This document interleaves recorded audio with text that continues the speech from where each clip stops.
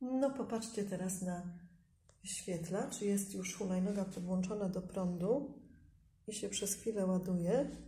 Także wyświetlacz będziemy mogli sobie włączyć i zobaczyć, jak wygląda. O, proszę. Jaki śliczny. No cudowny. Taki kolorowy, bardzo ładny.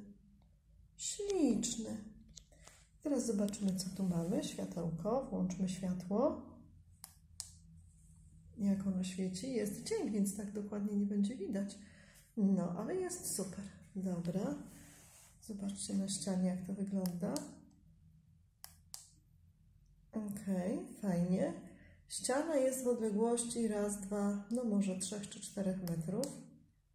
Jeszcze raz. Bardzo fajnie. I teraz popatrzcie, jak wygląda z przodu. O, a z tyłu widzimy na tylnym błotniku czerwone światełko migające, co jest zdecydowanie fajniejsze od takiego jednostajnego światełka, bo po prostu lepiej widać. I jest to dla nas bezpieczniejsze. Ok.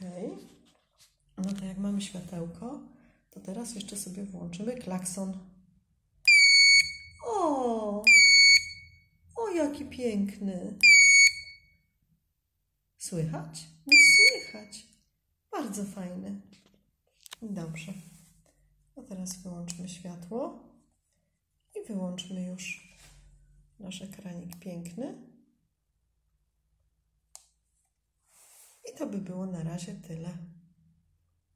Pozdrawiam.